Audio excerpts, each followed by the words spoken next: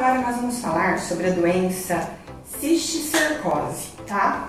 Então, quando uma pessoa contaminada, né, faz lá as fezes dela, vão conter pedaços que são as proglotes da tênia, ok?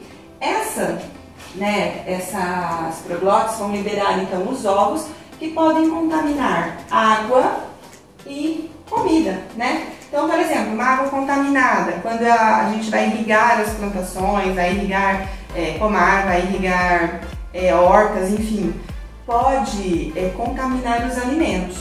Quando uma pessoa, gente, come esses ovos aqui, ou toma água contaminada, ou ingere né, os alimentos contaminados pelos ovos, o que, que vai acontecer?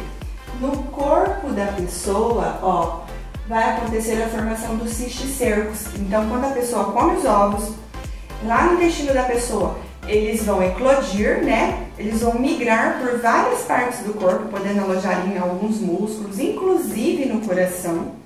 E alguns, gente, vão para o cérebro. Já ouviram falar daquela doença? Ai, doença de porco na cabeça. Então, é isso, tá? Então, quando a gente ingere os ovos, a gente desenvolve os cisticercos no nosso corpo. Por isso que é fundamental lavar bem frutas, verduras e tomar sempre água tratada, filtrada ou que seja fervida, para não ingerir ovos da tênia, ok?